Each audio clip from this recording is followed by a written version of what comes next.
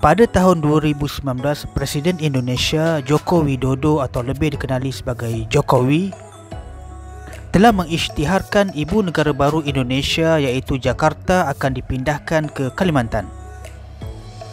Secara tepat, ibu negara baru Indonesia letaknya di Penajam Pasir Utara dan Kutai Kartanegara di Kalimantan Timur.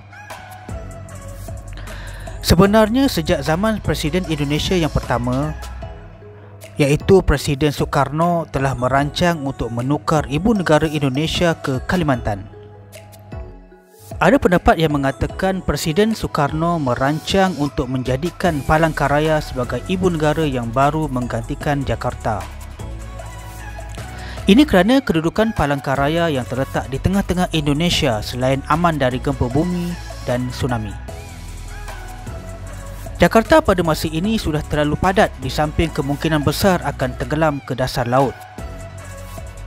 Penduduk Jakarta sendiri hampir mencecah 12 juta orang. Tahun 2003 ketika Pak Anda datang ke Jakarta atas urusan kerja, kita boleh lihat dan merasakan bandar yang sangat padat dengan manusia.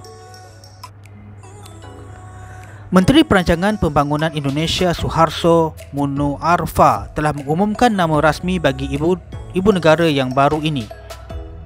Nama yang dipilih adalah Nusantara. Nusantara adalah istilah yang diberikan kerajaan Hindu Majapahit kepada pulau-pulau di luar Jawa. Pada pendapat Pak Anda, Nama Kutai mungkin lebih sesuai mengingat di kawasan itulah pernah wujud kerajaan tua abad keempat masih kerajaan Kutai Martapura. Setakat ini sahaja. Assalamualaikum dan jumpa lagi.